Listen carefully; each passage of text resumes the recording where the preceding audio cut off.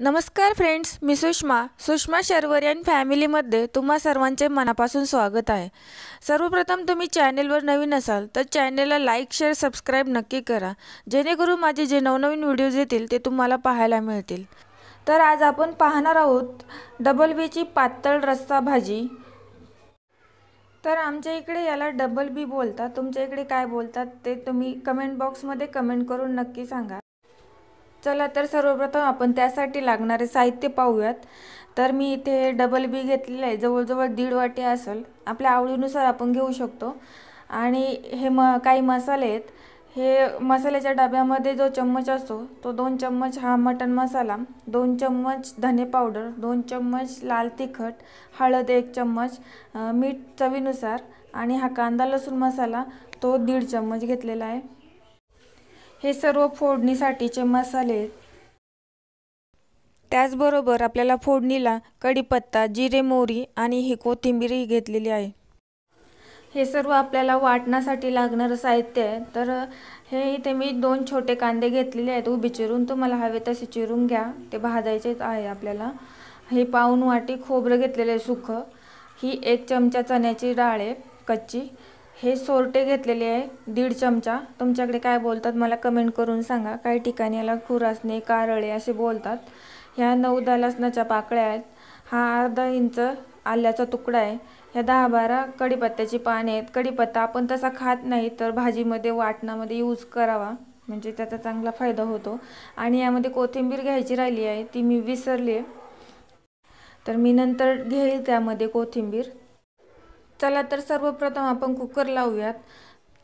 हे पहिले मी धुवून घेतलेले आहेत. ह्यामध्ये जास्त पाणी नाही घालायचं फक्त डबल बी बुडेल इतके पाणी ठेवावे. तर आता मी गॅस पेटून घेते आणि मीडियम फ्लेम ठेवायची. जास्त हाई नको जास्त लो पण नको. मीडियम फ्लेमवरती तीन शिट्ट्या काढून घेऊया आपण. हे पहा मीडियम फ्लेमवरती मी आता कुकर ठेवलेला आहे. जोपर्यंत कुकर होतोय तोपर्यंत आपण मसाला भाजून घेऊया. चला तर हे साहित्य आपण भाजून घेऊयात. इथे मी तवा ठेवलेला आहे गरम होण्यासाठी. तो आता गरम झालेला आहे. तर आपण त्यामध्ये पहिले सोरटे टाकूया. सोरटे भाजताना तेल नाही टाकायचं नाही तर ते व्यवस्थित भाजले नाही जात. आता मी एक एक करून सर्व भाजते ते तुम्हाला दाखवते कसं भाजायचं ते.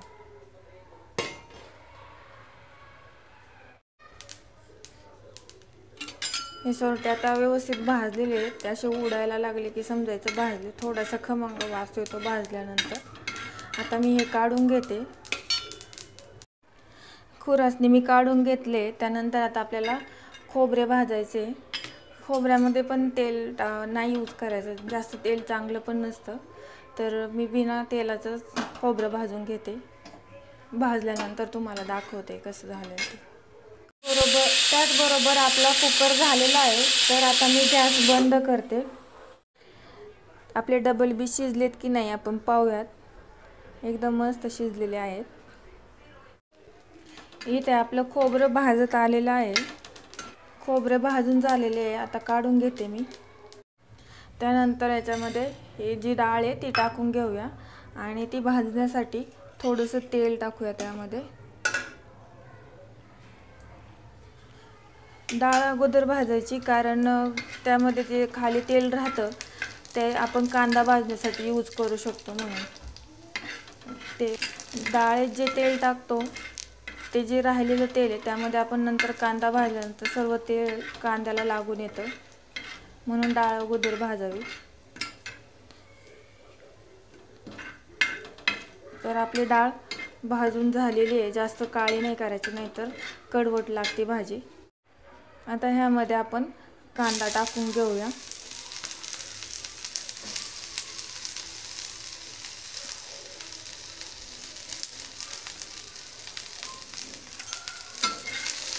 कांदाही व्यवस्थित म्हणजे थोडासा काळसर होईल तोपर्यंत परतावा. जास्तही काळा नाही करायचा. मी आता तुम्हाला भाजून झाल्यानंतर दाखवते क किती लाल करायचा आपण ते. अशा प्रकारे आपला कांदा भाजून झालेला आहे. इथपर्यंत भाजला आहे तो ठीक आहे. ह्याच्यापेक्षा जास्त काळसर नाही करायचा नाहीतर भाजी कडवट लागते. तर आता मी तो काढून घेते. अशा प्रकारे आपला मसाला भाजून झालेला आहे. तो थंड झाल्यानंतर आपण त्याचे वाटण करून घेऊया.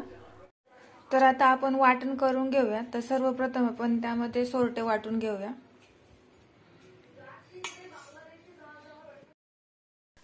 तर अशा प्रकारे सोरटे वाटून झालेले आहेत.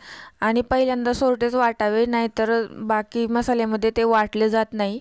आता आपण खोबरे घेऊया. तर आता यामध्ये मी खोबरं आणि डाळ घेतली आहे ते वाटण करून घेते मी. आता मी यामध्ये लसूण कढीपत्ता कोथिंबीर आणि आलं टाकून घेते. आता हे वाटून घेऊया. आता यामध्ये कांदा घेतला आहे. लागेल तसे पाणी टाकून आपण त्याचे बारीक वाटण करून घेऊया. मी तुम्हाला दाखवतेच कसं झाले ते. अशा प्रकारे आपलं वाटण रेडी आहे. गॅसवर कढई ठेवून त्यामध्ये थोडेसे तेल टाकलं आहे आणि आता गॅस लावून घेते मी.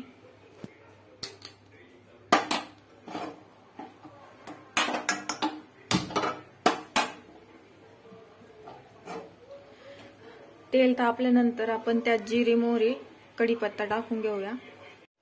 आता तेल तापलेले आहे तर त्यात जिरे मोहरे टाकून घेते. ते चांगले तडतडले की त्यानंतर त्यामध्ये कढीपत्ता टाकूया.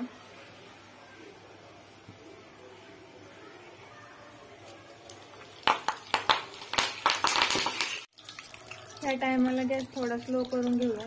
थोडीशी कोथिंबीर टाकूया. आणि एकदम थोडासा तो वाटण केलेला मसाला टाकायचा. तो परतला थोडासा परतून घ्यायचा. हा मसाला मी ह्याच्यासाठी टाकते की जे आपण फौजीला मसाले टाकणार आहेत ते जळाले नाही पाहिजे म्हणून. तर हा व्यवस्थित परतला गेलाय. तर आपण जे हे मसाले घेतले ते ह्यामध्ये टाकूया. व्यवस्थित मिक्स करून घेऊया.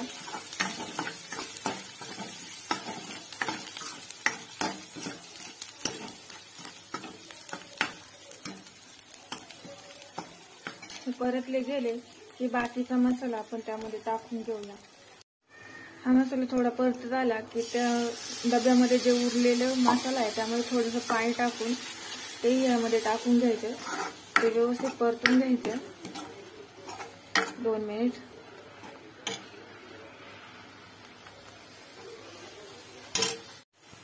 हा मसाला टाकल्यानंतर तो व्यवस्थित परतून घेऊया. आणि तो परतला गेल्यानंतर मग आपण त्यामध्ये डबल बी टाकणार आहोत. व्यवस्थित परतल्यानंतर आपण डबल बी टाकून घेतले आणि ते व्यवस्थित मिक्स करायचे.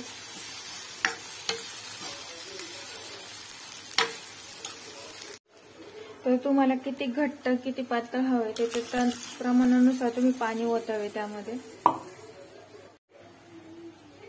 यावर आपण थोडीशी कोथिंबीर टाकूया.